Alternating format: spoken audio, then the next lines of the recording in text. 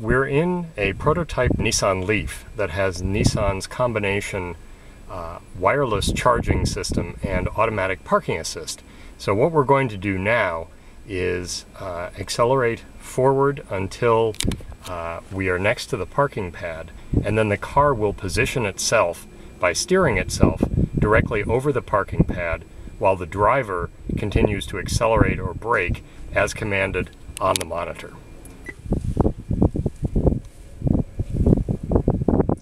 Now we're driving forward and on the monitor here we're going to position the car with the green center line just next to the car and we can adjust it a little bit using these up and down arrows.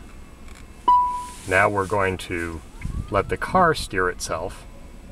The driver lifts off the accelerator and the car turns and it goes into this box, tells the driver to brake, and then switch into reverse. The driver lifts off, the car backs itself into the spot,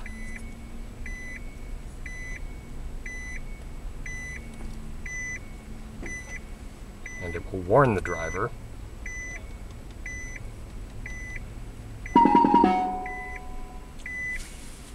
Now we're over the pad. The driver switches out of reverse. Tells it to charge when the car turns off. And now the car will start charging itself.